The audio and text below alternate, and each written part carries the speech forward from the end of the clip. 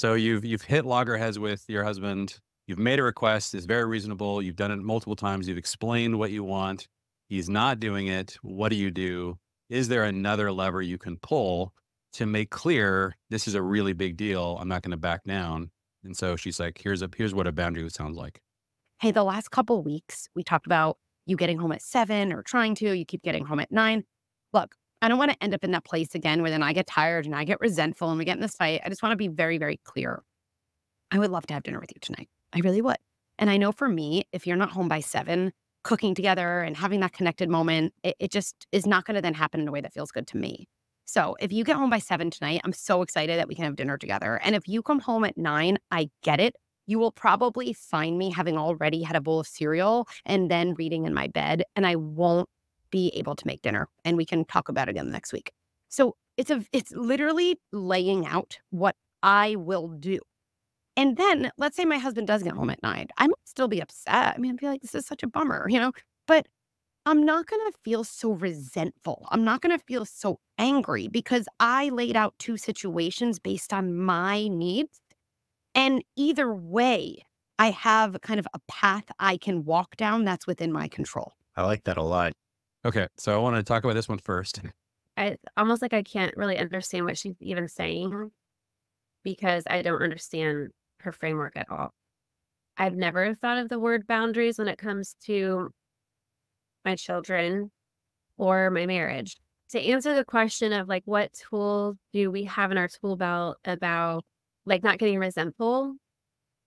I think I really agree with what Kristen said about the meeting. I think that that's that's a great place to be. I think if you another tool is like having a mission because as a team, if you are trying to accomplish something, you know, if you're using the sports analogy, you're trying to like get a touchdown or score a point or whatever, then you both understand that that's the goal, that that's the thing you're working towards. And so you you might have conversations about how to get there or like which one of you is going to do this or that so that you can get to the end zone but it's very much like a collaborative conversation and conversation i think probably is the key about uh, like how to achieve that goal or be on that mission. And then having the the meeting as like a regrouping like how how was that? Like the post game meeting or something? Like okay so how was that? How'd that go?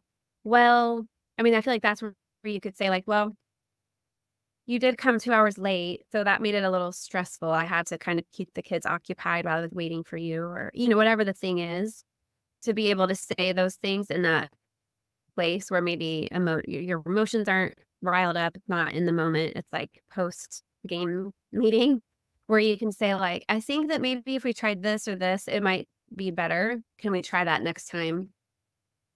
So it's more of like a conversation to me than like a boundary or like a threat that I'm holding over someone's head.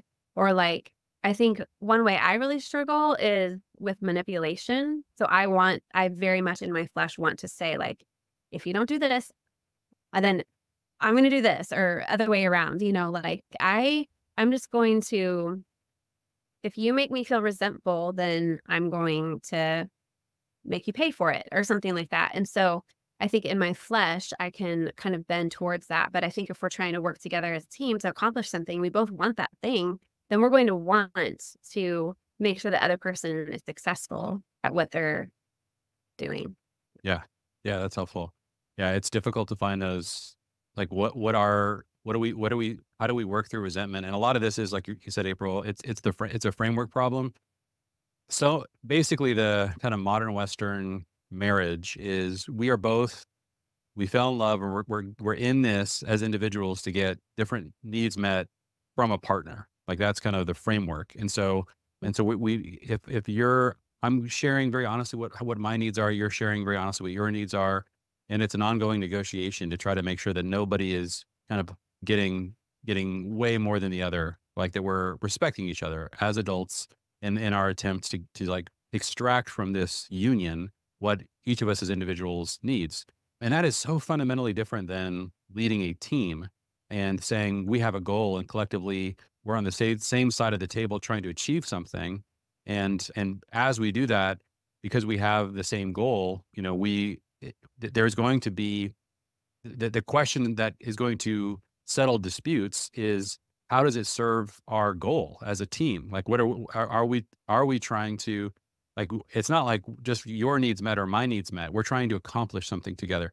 I, I think this is so different. And part of why I wanted to bring it up is because there is so much conversation around boundaries in, in our culture psychologically. And it's in this framework of you're in these relationships to get individual needs met. And I am trying to understand number one, is that appropriate language for a family team? And number two, if it's not, you know, how do we deal with the resentment that that could happen when you are feeling constantly like you're not getting your needs met? There, there's there's also kind of like a, a missing party.